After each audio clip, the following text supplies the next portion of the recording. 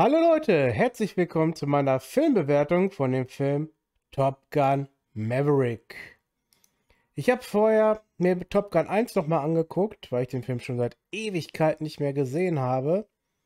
Und somit auch gut vorbereitet war für den zweiten Teil. Worum geht es in dem zweiten Teil? Ja, unser guter Lieutenant Pete Maverick hat sich immer mal wieder keine Freunde gemacht, wie man es halt so kennt, immer mit dem Kopf durch die Wand und seine eigene Meinung versucht durchzuboxen, was ihn immer wieder zu Problemen gebracht hat. Degradierung, Beförderung, dann wieder Degradierung und so weiter und so fort, bis das Militär mittlerweile einfach von ihm die Punkt, Punkt, Punkt voll hatte. Aber durch einen besonderen Zwischenfall haben sie ihn rekrutiert für ein letztes Mal, um eine Mission, die nahezu als aussichtslos gilt, eine Gruppe von neun Top Gun-Piloten auszubilden, um diese Mission zu erfüllen. Was gibt es Positives zu sagen? In diesem Film spielt der Sohn von Lieutenant Nick Bradshaw mit. Der Vater wurde damals gespielt von Anthony Edwards und heute der Sohn wird gespielt von Miles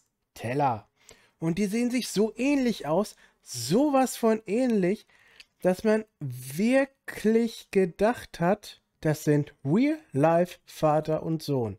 Also da haben die so viel richtig gemacht. Das war ein richtig, richtig krasser Eyecatcher. Auch, dass er Klavier gespielt hat, wie sein Filmvater und so weiter. Mega, mega. Auch natürlich alte Gesichter, wie zum Beispiel Val Kilmer sind da gewesen.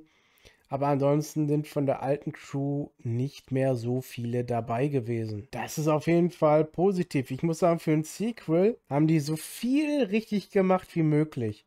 Man kann halt die 80er nicht eins zu eins in die neue Zeit übertragen. Das geht nicht. Aber sie haben versucht, die besten Aspekte von damals in den neuen Film einfließen zu lassen. Und das ist denen auch wirklich sehr gut gelungen. Ein weiterer Aspekt, den ich gar nicht so wusste damals, was auch schon beim ersten Teil wohl schon so gewesen ist, dass er vieles oder sogar alles selber geflogen hat. Wo ich sagen muss, Respekt.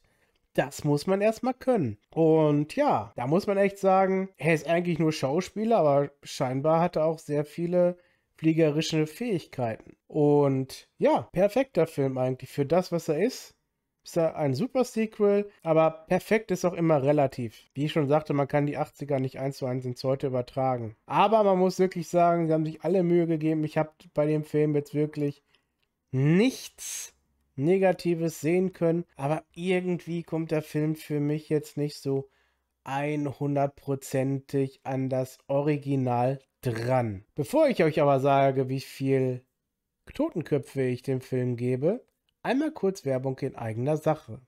Hallo Leute, hier ist der MC Rossi Fanshop. Hier gibt es vieles von euren Lieblingsstreamer und Content Creator. T-Shirts, Turnbeutel, Hoodies und vieles, vieles mehr. Geht auf den Link in der Videobeschreibung und holt euch eure Produkte. Hier gibt es jede Menge. Schaut es euch an und kauft fleißig ein. MC Rossi Shop. Alles, was ihr braucht. So, nachdem ihr jetzt auch wisst, was ihr kaufen könnt, gebe ich jetzt mal eine Bewertung ab. Und zwar bekommt dieser Film zwischen 4 und 5 Totenköpfe. Weil man bei dem Film wirklich alles richtig gemacht hat, was man richtig machen konnte. Und der Film einfach wirklich super anzuschauen ist. Einige sagen, er ist besser als das Original. Ich sage, er ist gleichwertig, aber knapp dahinter. Von daher für ein Sequel, wo man sagen kann, dass viele Sequels wirklich auf den Müll gehören, ist dieser definitiv sehenswert. Sehenswert. Ja, kommende Woche gibt es nichts im Kino.